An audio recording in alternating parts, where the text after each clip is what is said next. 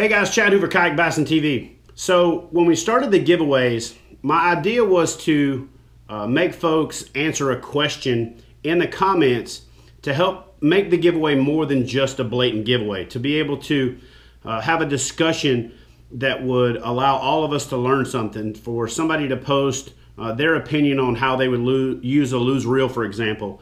And from that commentary and from those responses, everybody would learn something, including myself. So, uh, as we've done that with a couple of giveaways, I realized that there's an opportunity here for us to have a dialogue uh, where everybody can learn something, and, including myself, and we can then share with each other tips, tactics, and techniques, uh, expound upon ideas. Uh, share our thoughts and crossover. And then what I can do is either consolidate those ideas after the fact or share my opinion on a particular matter uh, based on my experience. So what I came up with is the fish quiz. So as much as possible, I'm going to post up, you know, even as aggressively as daily, a daily fish quiz. And the fish quiz is simply going to be a question that I pose. Uh, for example, today's question is going to be, what is the thermocline?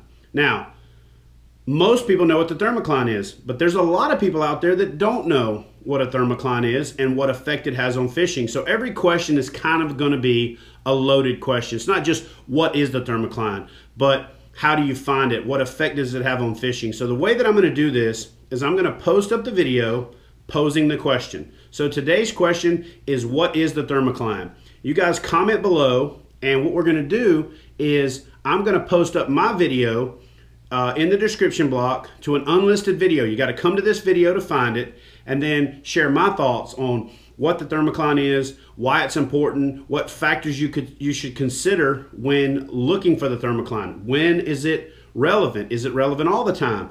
All of these things will be something that'll help us all learn more about a particular topic and it'll it will create the ability for all of us to share our expertise because listen, with the number of subscribers that we have here, there's no way that I'm the only one with a wealth of fishing knowledge. I'm just the conduit to help get it out there. So do me a favor for our first fish quiz.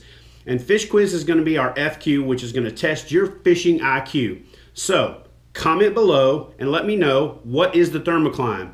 Go ahead and get into detail if you want to and talk about what effects the thermocline have on fishing, how to locate it, what it means to a particular fishery and what times of the year it's more prevalent. And then I'll post up the link to my video in the description box below within the next 48 hours. So I hope you enjoy the new series, Fish Quiz, because it's going to help us all not only test our fishing IQ, but improve our fishing IQ as well. Thanks for joining me on Kayak Bassin TV, and please do me a favor, comment below, like the video, and give it a big thumbs up if you could. And as always, please subscribe, and I'll see you next time with another fish quiz.